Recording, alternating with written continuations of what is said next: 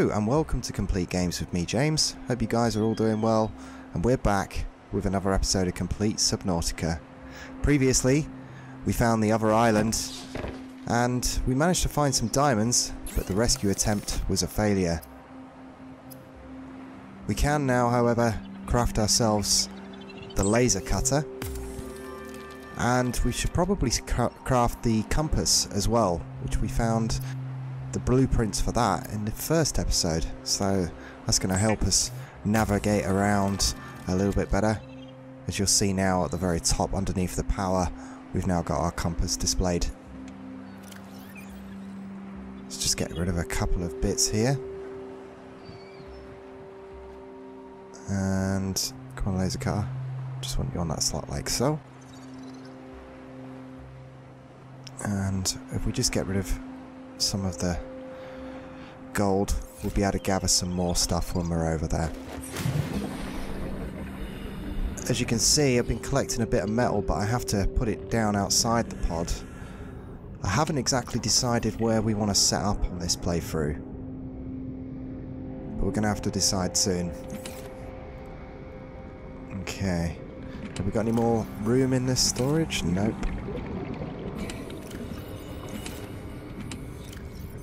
Want to carry as little as possible. Okay. Welcome aboard, Captain. And we've only got 40% power left, so it might be an idea to craft another power cell. So I think we might do that before we set off. Power cell's just at the bottom here. Okay. So what does a power cell take? Oh, we got a radio message. Let's check that out. Playing partially translated broadcast. Nine new biological subjects designated. Mode. Hunting. Analyzing. Sharing subject locations with other agents. Hmm, that doesn't sound friendly. Another agents. Okay. Right, we need a power cell. Hmm, got another message coming. Um, that takes two batteries and some silicon rubber. Okay, we best do that before we get to the Aurora. This is an automated distress signal from Life Pod 12. Coordinates attached. Warning. Life Pod has sunk beyond safe diving distance. Do not attempt retrieval without submersible support. Signal location uploaded to PDA. Okay, so we've got another pod to check out, Life Pod 12. Don't think we've come across that one yet. We probably need a depth module for the Seamoth. I think at the moment we can only drop down to 200 meters. Might be less than that. Right, let's just grab a couple of sea creepvine clusters. We need to make some silicon rubber and a couple of batteries. So I'll need some mushrooms as well. Two mushrooms for each battery and some copper. Which I should have in one of these storage boxes. Nope.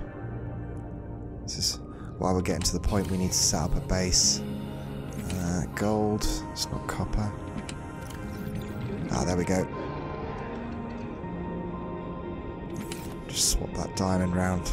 Can leave that here.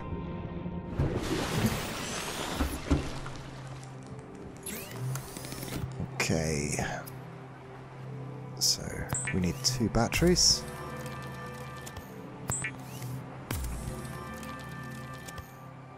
And silicon rubber being the basic materials. And a power cell. Until we can find a way of charging our equipment, we're just going to have to keep crafting 4. batteries. We've landed close to the Aurora. Flotation device is active, but we've got some big old fish in the water with us, and I don't know how long we're going to last. We're close to the crash site, so bring radiation protection. Four out.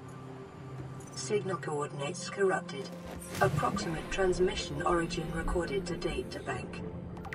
Okay, well, we're, we're heading over to the Aurora, so we'll keep an eye out for Life Pod 4.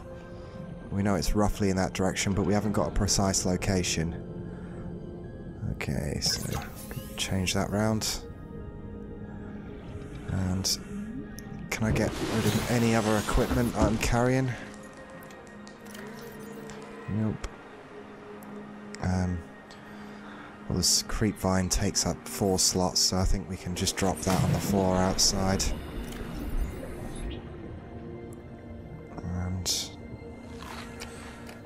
Just eat this peeper. It's rotten anyway. Okay, I think we've got everything we need. Let's head over to the Aurora. And straight in this direction. I'll see you when we get there.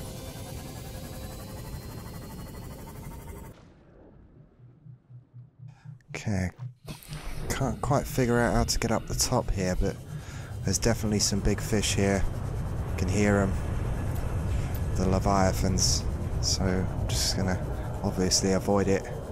Or avoid them. Yeah, it's quite dark and I can't figure out how to get up into the Aurora. I know it's just up here.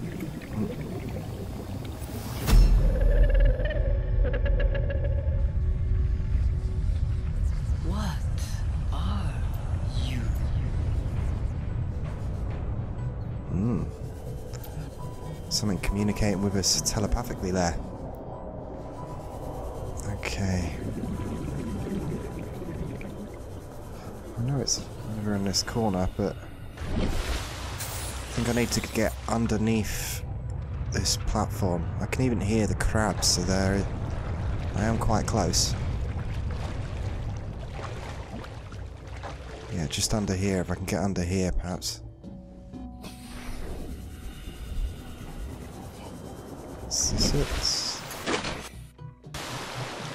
Ah, this is looking like where we can get up. Here we are.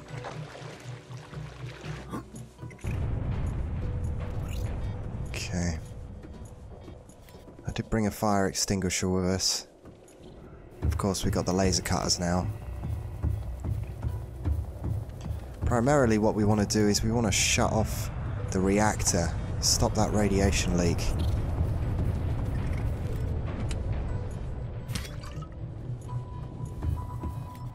Also might be able to find the prawn suit and a depth module to make the Seamoth dive a little bit deeper. Oh. Things come and attack you and then they run away. Okay. We're finding plenty of water. Show the digestive tracts of nearby life forms contain human tissues. Oh, nice. Okay.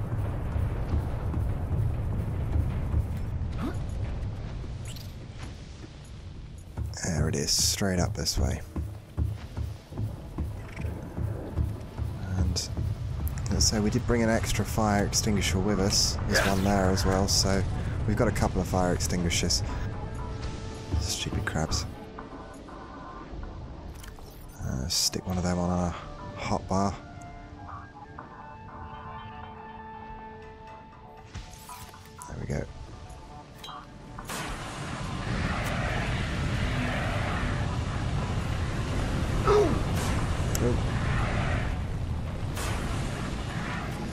Not step into the fire. Okay, let's head over to the administration area first. Um, don't really need to put that bit out. Oh! Try and conserve as much of the fire extinguisher as I can. Without burning myself.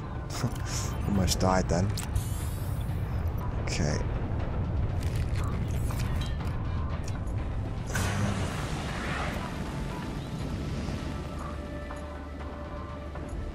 To get my scanner. Can't see anything on the table. So there's a poster. We'll take the poster. Data terminal download. Okay. Integrating new PDA data. No. Can't see anything sat on the table.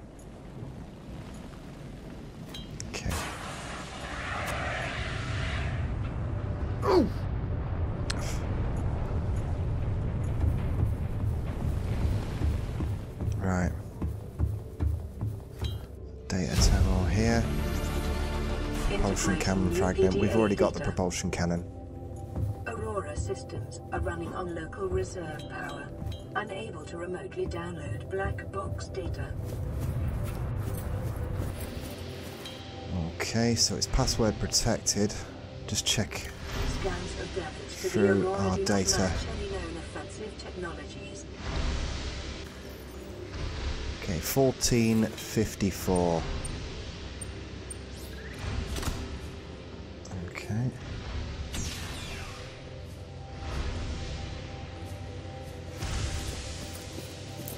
We can get a bit deeper.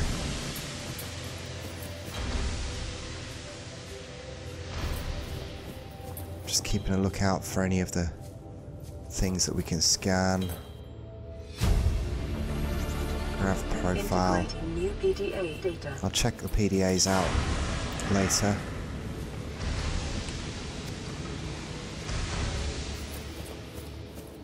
Anything up the back here? Doesn't look like it.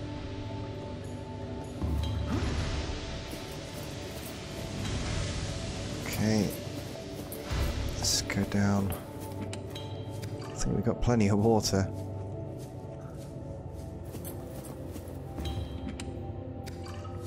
Don't know if we need it all. We can drop it if we end up carrying too much. Okay, so Seamoth. Drive room is that direction. Um, was behind us. Okay. Need the laser cut to get through this door. Um, Oh, that's the repair tool. The laser cutter. That's why. There we go.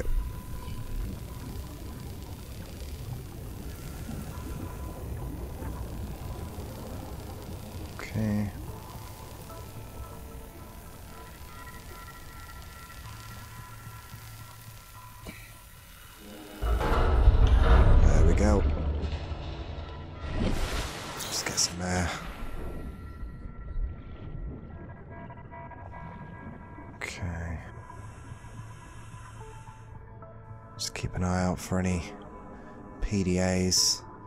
Bit difficult to see actually. I'll get my Sea Glide out. It's got a torch on it. I need to craft the torch.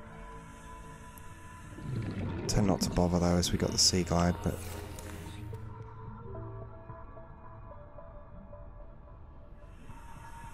can't see anything there.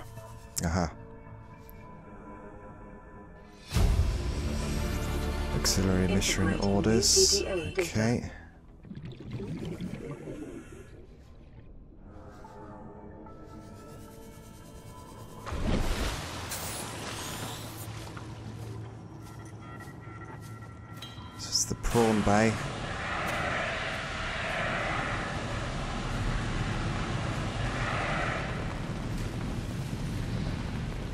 Just use the repair tool on that. Get that back out.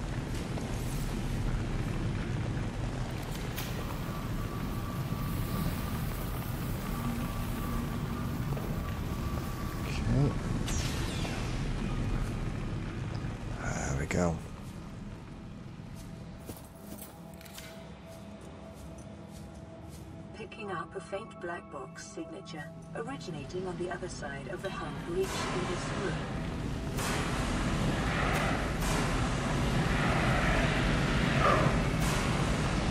Need to practice my firefighting skills, that's for sure. Okay, here we go. We got a prawn suit.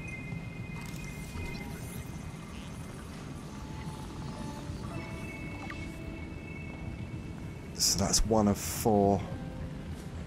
I can see a couple more hanging up here. Just got a radio signal coming as well. Not much we can do about that at the moment.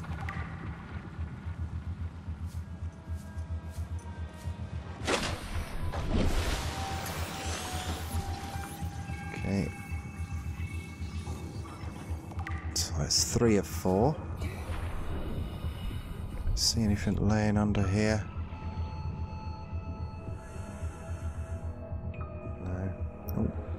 extinguisher. We might need it.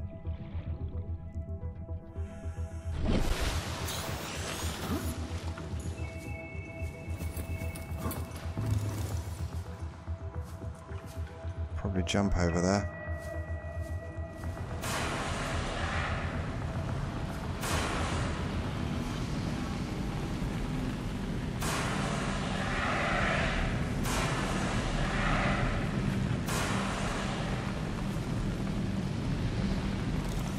Scan this last one? It's right at the back of the fire here.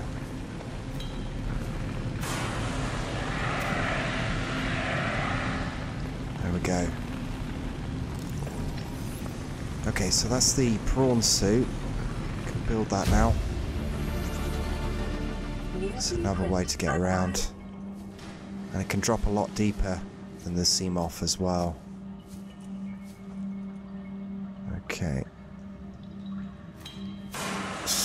Some of this fire and we can jump over here. I'll try to.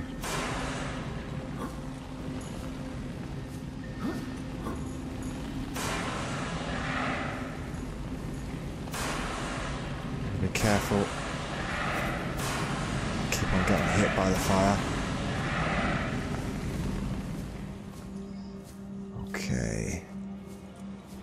So we've got the living quarters back here. Check around this side. Yeah, we could have actually jumped over this side. It might have been a bit easier. Less fire on that side. So, looks like the calf. This would be Ozzy's calf.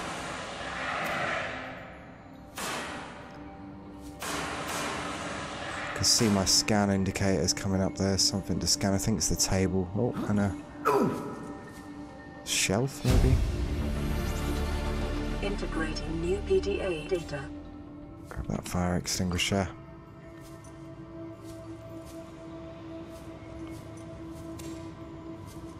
Okay.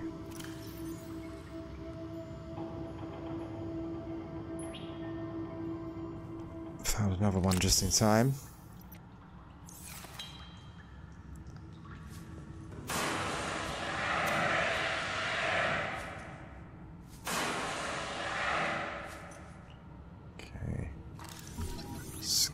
Bar table.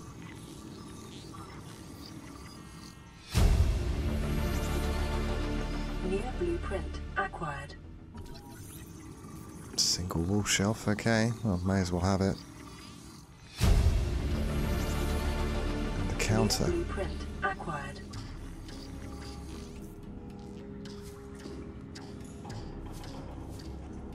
Yeah, I don't think I'm missing anything else. Can't scan this machine, can I? Nope.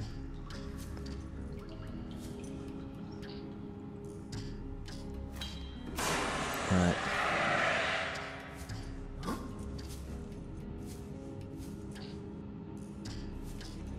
Yeah, definitely can't get anything out of that. Okay.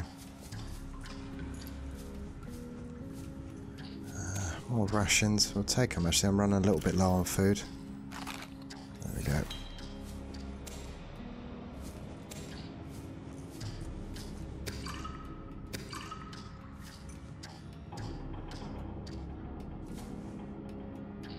Food and drink in there. Should probably stop picking these waters up actually. I don't really need them. Okay, can't get through that one. Um, let's try down here first. Okay. Like we can get a bed.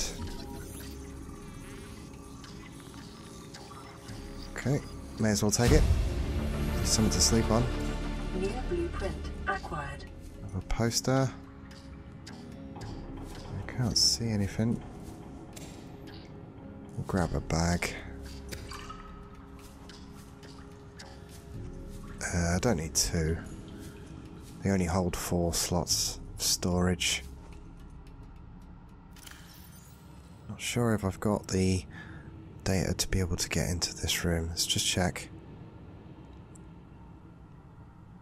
Uh, notes to self. So that was to open the cargo bay code.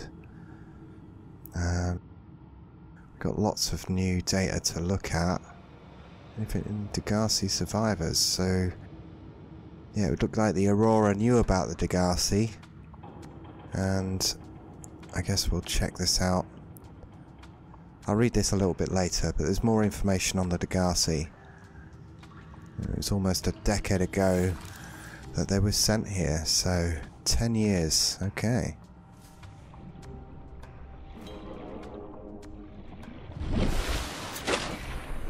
Right, let's check out the Seamoth Bay. Couldn't find any more information on how to get into them cabins. We couldn't get into the captain's quarters either.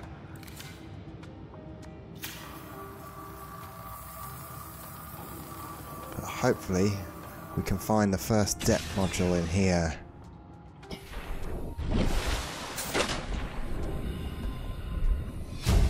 Okay. Integrating new PDA data. VR seat log. And there's the Seamoth depth module.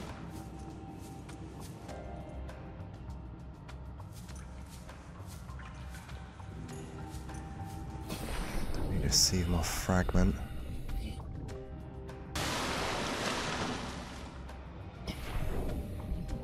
Can't see anything else in here, but that's what we needed. Okay. Right, let's get through to the drive room, see if we can stop this radiation leak. Internal damage during collision. Do Well, nonetheless, we'll attempt it.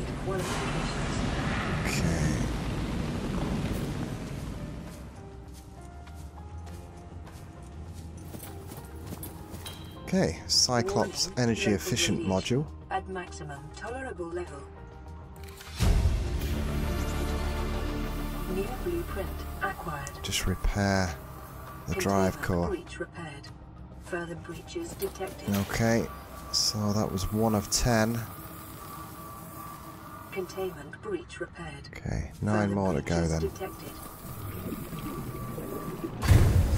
Okay, that's the last one. Okay, we should have fixed the leak. sealed. Just gonna scan this bleeder. Keeps on trying to grab you. okay. It's stuck on me again. Just whack him off. Okay. Right, let's get out of here. We've discovered as much as we can. We couldn't get into the captain's quarters, but we have got the depth module for the Seamoth.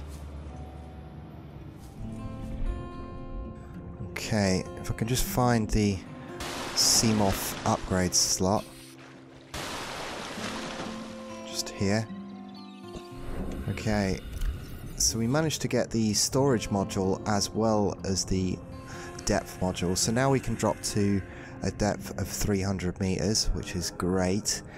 And uh, we also discovered that the Aurora was on a secret mission to bypass planet 4645b. As 10 years ago, it turns out that the Degasi crashed here. So, en route, they wanted to send out an investigation. Well, we know what happened to the Degasi and the Aurora, and now the Sunbeam being shot down. So, it explains a little bit about how we ended up here in the first place. At least now I've got some storage, I can stick these batteries away. And in the next episode, when we do set up base, at least I've got some way of helping me transport some of this stuff from LifePod 5 to where we'll need to be. Not 100% sure which biome I'm going to set up in on this playthrough, but uh, between now and next week we'll have a think about it. We've decided that we're going to keep Subnauticas to complete Subnautica Sundays. Don't forget to hit the subscribe button if you're enjoying the series so far. Until next time, I'm James from Complete Games, and we'll see ya.